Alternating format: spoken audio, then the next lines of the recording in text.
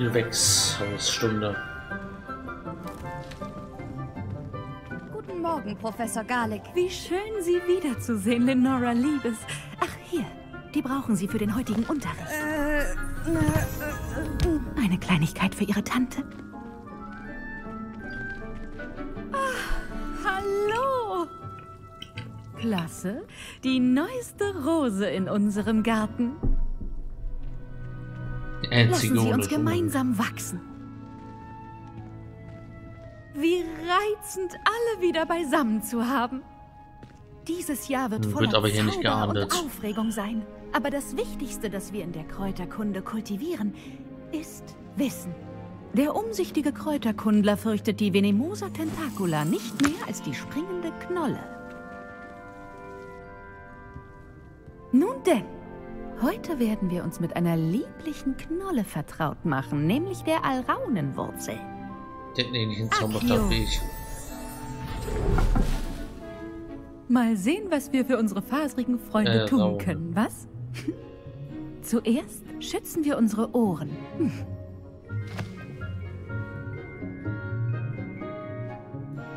Nun, alle, packen Sie Ihre Alraune an den Ranken und ziehen sie kräftig.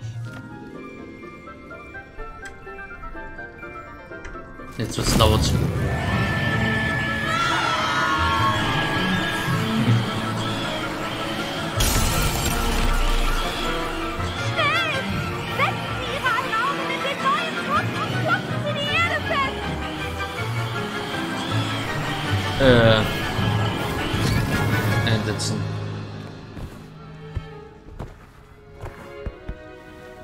Oh je. Die Erde sollte die Wurzel wie eine warme, schmutzige Decke umhüllen. Dann fühlt sich die Alraune richtig wohl.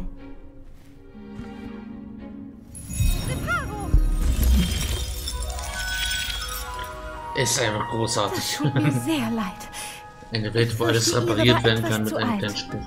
Also gut, weg mit dir. Oh. Das haben Sie alle toll gemacht. Ist Als zu alt. nächstes werden wir Diptam an den Pflanzentischen einpflanzen. Sie können anfangen. Ich werde aber ganz kurz mal in die Einstellungen gehen. Untertitel. Hier, aus. Habe ich endlich mal gefunden. Ich muss nur noch kurz mit unserem Neuzugang reden. Habe ich die nicht gerade ausgeschaltet? Untertitel. Ob Hippogreife wohl knöterig mögen? Professor Fig scheint ja so gut wie nie in seinem Klassenraum zu sein. Sehr seltsam. Wusstest du, dass du die Alraune zur Verteidigung nutzen kannst? Stell dir das mal vor. Liebe Frau Professor Gardick, überaus aufmerksam von Ihnen. Sie haben ja sogar gemerkt, dass Erzbeeren meine Lieblingsfrüchte sind. Die sind so süß, kein Wunder, dass die Muggel verrückt nach ihnen sind. Alles, was sie züchten, scheint von erlesener Qualität zu sein. Von Bitterwurz bis zu, Be zu den Beeren.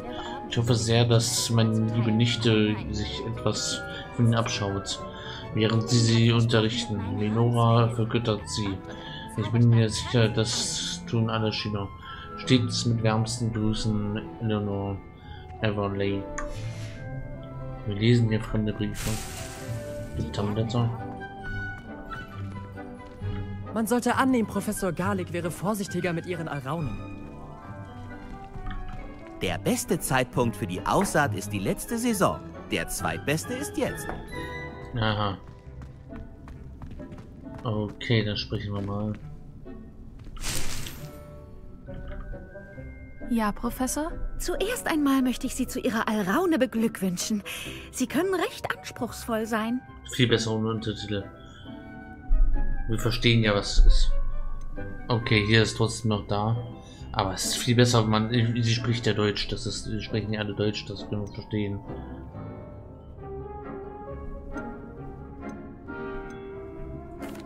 Ich hatte eigentlich sogar Spaß. Ihr Enthusiasmus ist ansteckend. Wie nett von Ihnen. Es scheint, als würden Sie im Fach der Kräuterkunde bereits Ihre Wurzeln schlagen. Wie bereits erwähnt, werden wir jetzt Diptam sehen. Holen wir also zunächst die Samen. Ich habe schon welche, Professor. Aus Hogsmeade mitgebracht. Sie waren in der magischen Rübe? Wunderbar. Vorbereitete Schüler wachsen und gedeihen. Ich habe Ihnen einen eigenen Pflanztisch im Unterrichtsraum reserviert. Diese Wortspiele gehen gar Zeit nicht. gar nicht mal so einfach.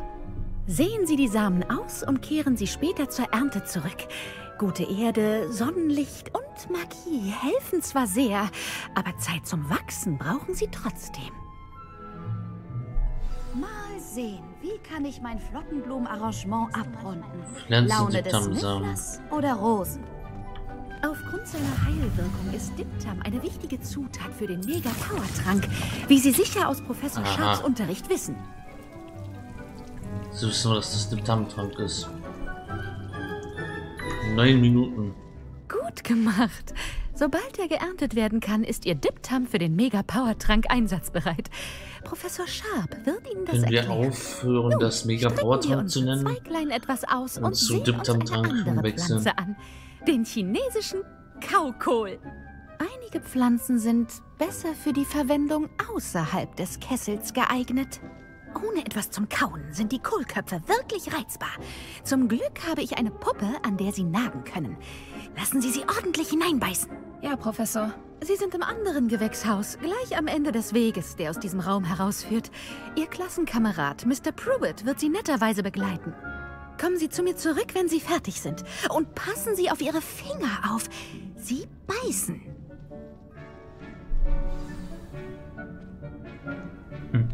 Wie es da steht. Ähm, Hallo. Ich habe dich neulich auf dem Weg nach Hogsmeade gesehen. Freut mich. Ich bin Leander. Ich zeig dir den chinesischen Kaukohl. Er ist gleich die Treppe da hoch. Aber du gehst vor. na dann. Gut gemacht in Verteidigung gegen die dunklen Künste.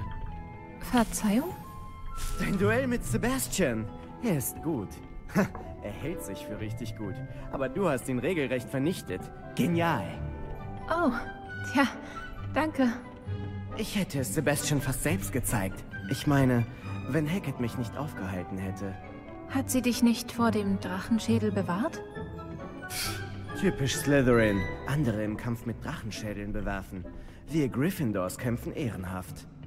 Und äh, Hufflepuffs auch. Zumindest du. Hier wären wir. Die Heimat des chinesischen Kaukohls. Los, hol ein paar Kohlköpfe. Siehst du die Übungspuppe? Wirf einfach den Kohl auf sie. Er macht den Rest. Aha. Das kann man gut als Waffe benutzen.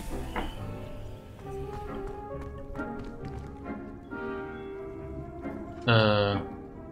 Wenn die Tab gedrückt und tippe auf das die Maus um zu öffnen und Kauko zuzuweisen. Ah, Wurfgegenstände. Und nun.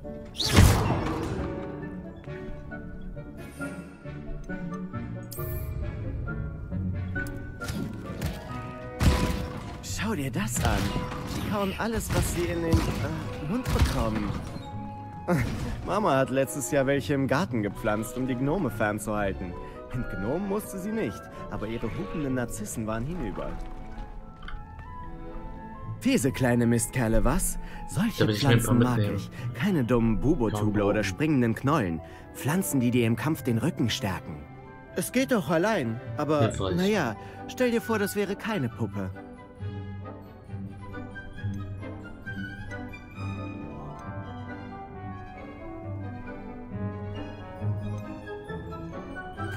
Sie könnten außerhalb des Gewächshauses bestimmt von Nutzen sein.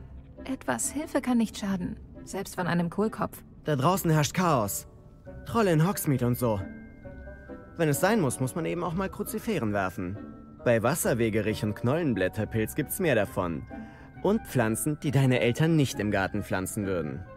Du verstehst schon. Naja, äh, wir sollten wohl zurück in den Unterricht. Lass dir Zeit. Jo. Wir sehen uns im Unterricht.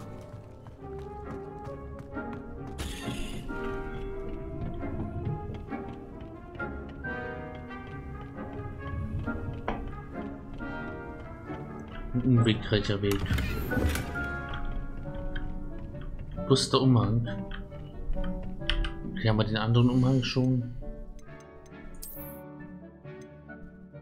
An der brauchen wir Stufe 9 für.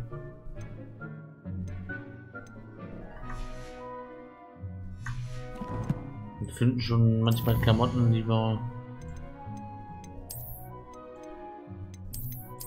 die wir noch nicht nutzen können. Welches Level haben wir eigentlich gerade? Level 8 eigentlich. Okay. Müssen wir erstmal abschließen, das ist Level 8.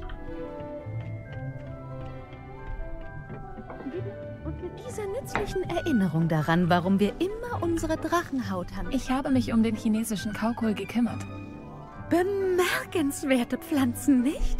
Ich hoffe, es war nicht allzu viel Mühe, aber ich sehe weder Bisse noch fehlende Fingerkuppen. Glücklicherweise, denn Sie scheinen einen grünen Daumen zu haben. Ich bin schon gespannt darauf, wie sich Ihr Talent entfaltet.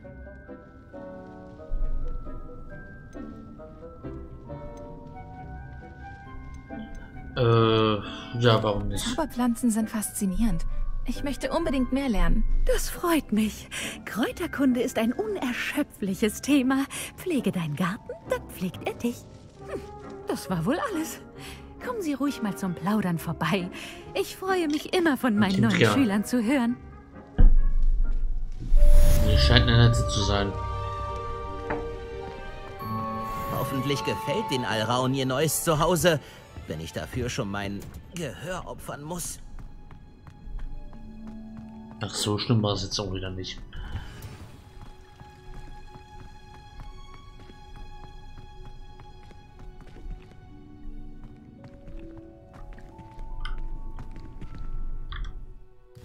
Okay, jetzt wollten wir Unterricht Zaubertränke. Machen wir, machen wir als nächstes danach, nachdem wir ein Date mit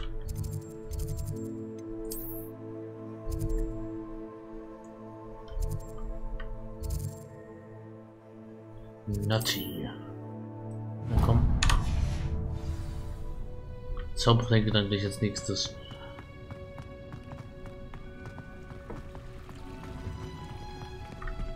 Äh, ich laufe im Kreis.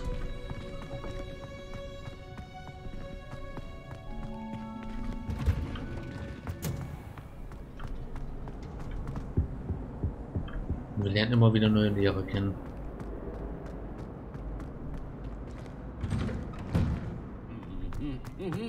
Aber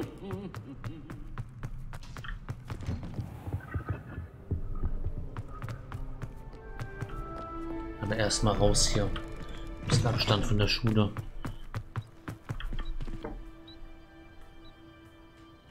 Wow.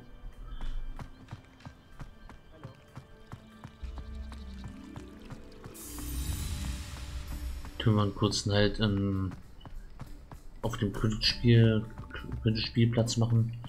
Spielfeld. Spielplatz ist was anderes. Ihr Handbuch ist ja wirklich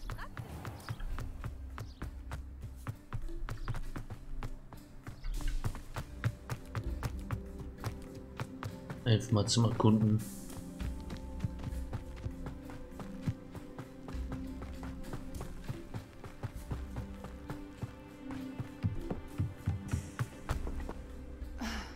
Wenn Black nicht großartig. hätte, müssten wir das verflixte Ding gar nicht erst Wo bist suchen. du? Du sprichst es falsch aus.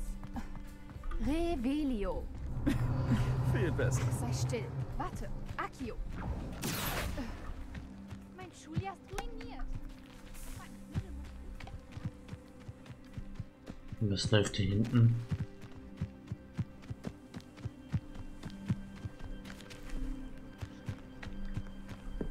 Haben wir denn schon einen Besen? Bezweifle es. Wir haben noch keine Flugstunde genommen. Stehen erst später an. Ja, hier können wir glaube ich noch nicht viel machen. Ohne Besen. Oder anderes Reittier.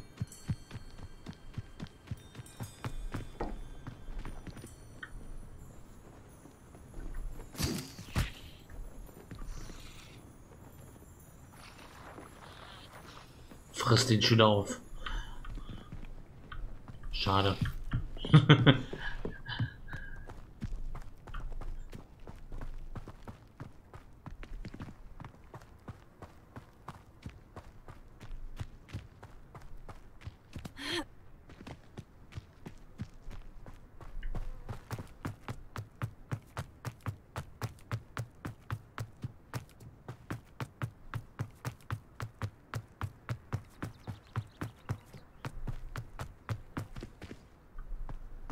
Aha.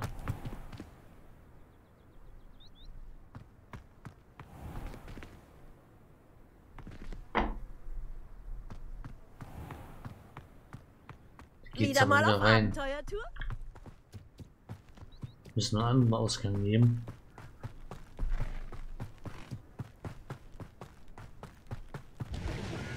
Scheiße.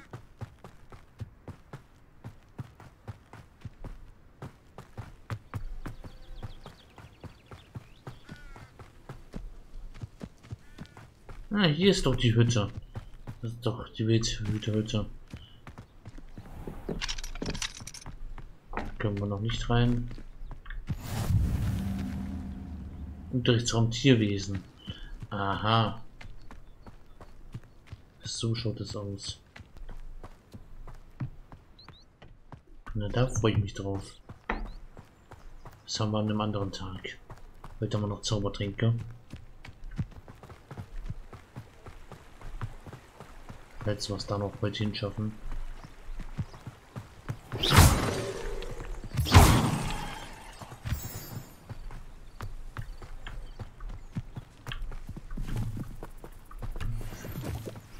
Schön Zutaten sammeln. Wow. Puh, da haben wir den Astronomieturm. Ich bin immer, ich bin wieder, ich, ich bin immer perplex von dem, was hier, was hier, und da drüben die Brücke. Da waren wir ja auch noch nicht. Der Seite des Schlosses. Die berühmt-berüchtigte wackelige Holzbrücke. So als umgesprengt wird. Teil 3, wo Lupin und Harry Potter da drauf stehen. Und in Teil 5 kommt dort, wenn ich mich richtig erinnere, auch über diese Uhr und dort da kommen, kommen die auch, nachdem, nachdem Harry und Termine und andere Dumbledores Armee gegründet haben, kommen die auch dort wieder zurück über den Weg.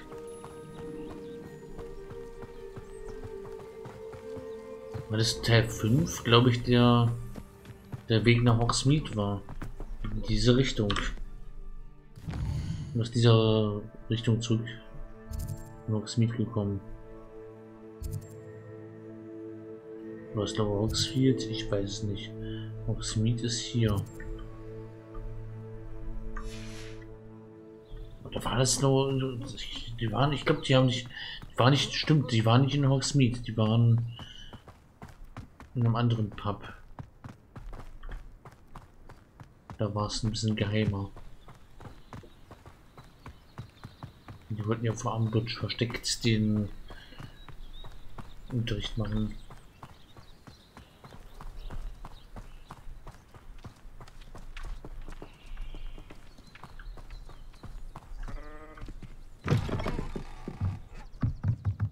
Ja, mit Hütte des Wildhüters oder was? Drei Besen. Eine Sonnenbrille.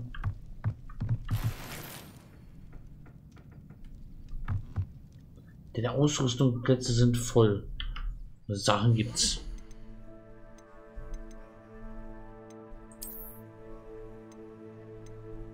Das ist ja gar nicht der Fall. Ausrüstung 20 von 20. Müssen wir hier mal ein paar Sonnenbrillen zerstören.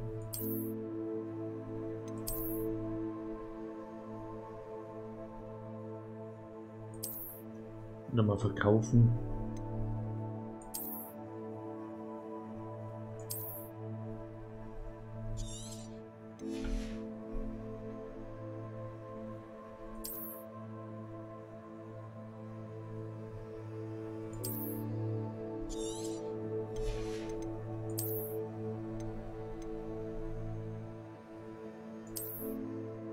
Oh je. Die können wir noch verkaufen.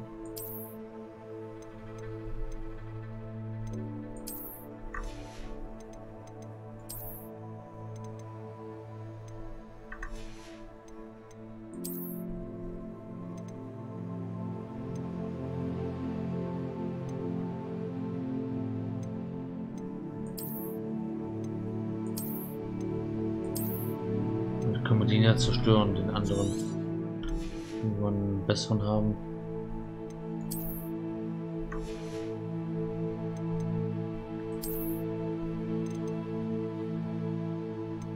Null Verteidigung. Das ist besser als das, aber das sieht natürlich, das sieht passender aus.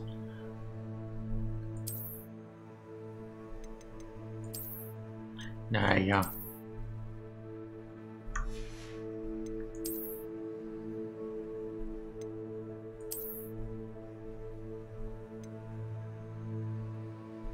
Es mal noch.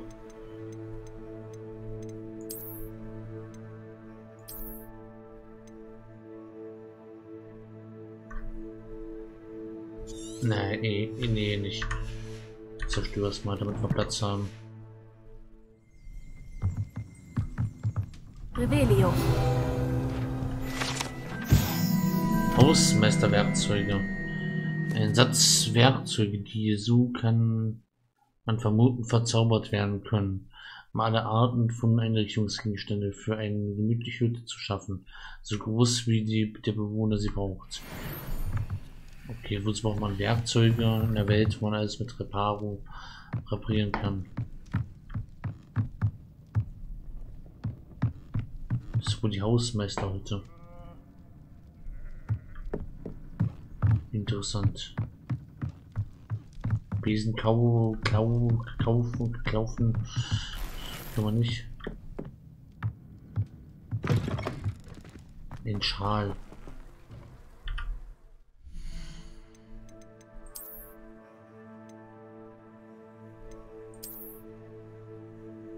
Der passt da schon viel eher. Ja,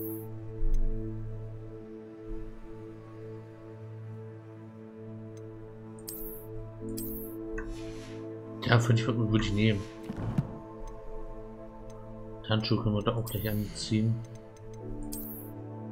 Nicht weil es kalt ist, aber das können wir jetzt tragen.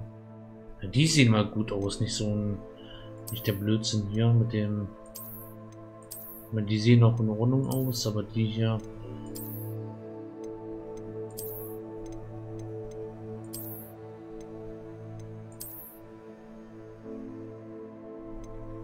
Verkaufen wir irgendwann mal. Die sehen ja stylisch aus.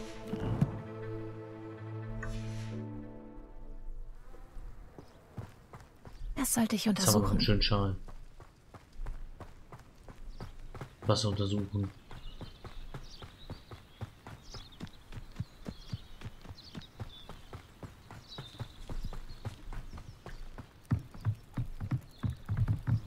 Na, wer ist das denn? Eine Sidequest. Ich dich um Unterstützung bitten. Kommt ganz drauf an. Hallo? Kann ich dir helfen? Oh, ein Glück, ja. Mein Name ist Grace Pinch Smedley von den Pinch Smedleys aus Bath. Ich hatte gehofft, dass bald jemand kommen würde. Ich war im Begriff, mich dem Wunsch meines Vaters zu widersetzen und hätte mir das nie verziehen. Weißt du, ich muss etwas vom Grund des Sees holen. Könntest du mir dabei vielleicht helfen?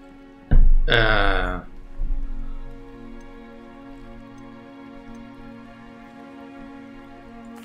Ich fürchte, ich hab's nicht so damit, unter Wasser herumzualbern. Oh, bitte sag noch nicht nein. Wenn du meine Notlage verstehst, änderst du vielleicht deine Meinung. Vielleicht? Was genau soll ich für dich finden? Und warum? Vor Jahren segelte mein Großvater, der sich selbst für einen Astronomen hielt, vom Bahnhof Hogsmeade aus los, um mit meiner Großmutter nur ein wenig die Sterne zu beobachten. Sie kehrten nie zurück. Das tut mir leid. Was ist mit ihnen geschehen? Das wissen wir nicht. Wir wissen nur, dass weder sie noch ihr Boot ans Ufer zurückgekehrt sind. Sie sind vermutlich ertrunken.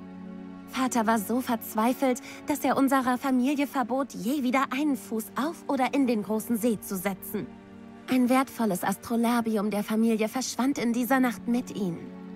Wenn du es Aha. bergen könntest, würde das meinen Vater bestimmt freuen. Äh, da bräuchte ich aber irgendwas, um unter Wasser atmen zu können. Was genau ist dein Astrolabium? Es ist ein erstaunliches, uraltes Navigationsinstrument.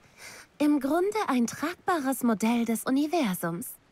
Es wird hauptsächlich für das Studium der Sterne benutzt, aber es gibt fast tausend Verwendungsmöglichkeiten. Faszinierendes Gerät. Leider ist es bestimmt so verrostet, dass es nicht mehr zu reparieren ist. Aber ich hätte es gerne wieder. Ich dachte mit Es hat Reparo, das schließlich meinen Großeltern gehört. Du dachtest anscheinend, ich hätte von den Bath Waldegraves gehört. Warum sollte ich deine Familie kennen? Das ist wie die Frage, warum der Himmel blau oder das Gras grün ist. Der Name Pinch Smedley ist gleichbedeutend mit Ja, großer warum ist der Himmel blau? Wir sind bekannt für unsere Beiträge zu Das ist Wissenschaft doch so eine und Kunst. Frage. ist. Ich bin überrascht, dass du noch nichts von uns gehört hast. Ich meine, das ist eine Und bei Frage. allem, was ich noch entdecken werde, werden diejenigen, die den Namen noch nicht kennen, ihn sicher eines Tages kennenlernen. Es gibt doch erschreckend viele, die es nicht wissen. Klingt gefährlich. Besonders für etwas, das lediglich sentimentalen Wert hat. Verstehe. Aber ich wäre dir ewig dankbar. Es kann natürlich sein, dass du noch viel mehr als das Astrolabium entdeckst. Alles, was du sonst findest, gehört dir. Ich habe die letzte bekannte Position des Boots mit der Topographie des Sees, den Tiefenkarten und dem Gezeitenplan abgeglichen. Ich vermute, dass es dort drüben ist, etwa einen halben Kilometer vom Hafen. Es Sicher. wäre wunderbar, das Astrolabium meines Großvaters wiederzuhaben. Ein Kilometer vom Hafen, natürlich. Ich hoffe, du Äh, findest ja. das Astrolabium. Es bedeutet unserer Familie sehr viel. Mal es schauen. klingt, als wäre ihr Astrolabium da nordöstlich des Docks. Ich sollte dort danach. Wenn ich mal zufällig vorbeikomme.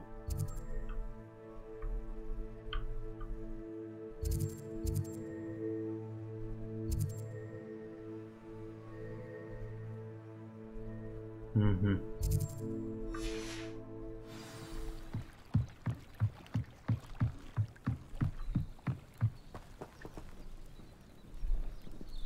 Haben wir die Quest jetzt verfolgt?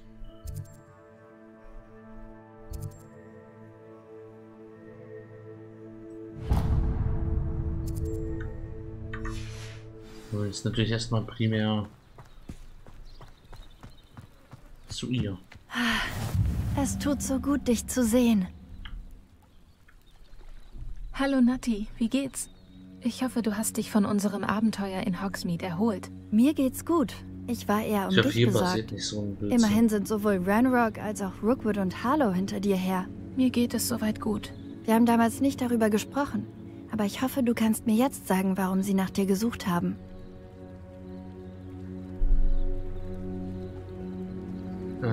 Ja, wir können, wir können ihr doch vertrauen.